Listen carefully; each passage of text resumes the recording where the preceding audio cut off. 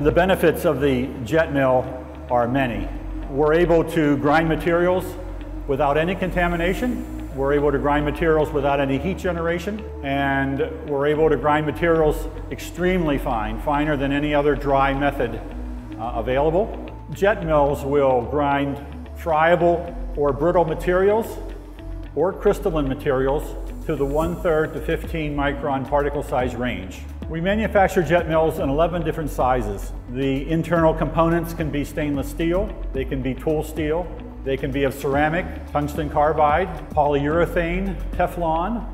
We differentiate ourselves from our competition in several ways. One way is we manufacture a dual chamber jet mill. A dual chamber is a distribution chamber that sits on top of the grinding chamber and evenly distributes the incoming material through multiple ports down into the grinding chamber. This gives you a more uniform and more efficient grind. Also, it evens out the wear inside the jet mill.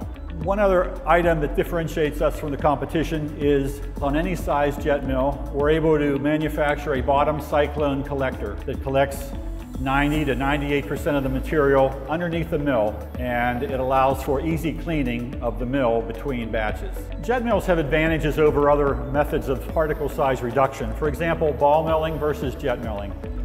Jet mills will reduce the particle size without any temperature rise. Uh, they'll give you a tighter distribution of your particle size and they will not contaminate the material. They are also instantaneous. Sometimes ball milling will take hours or days to achieve the same particle size the jet mill can do in an instant.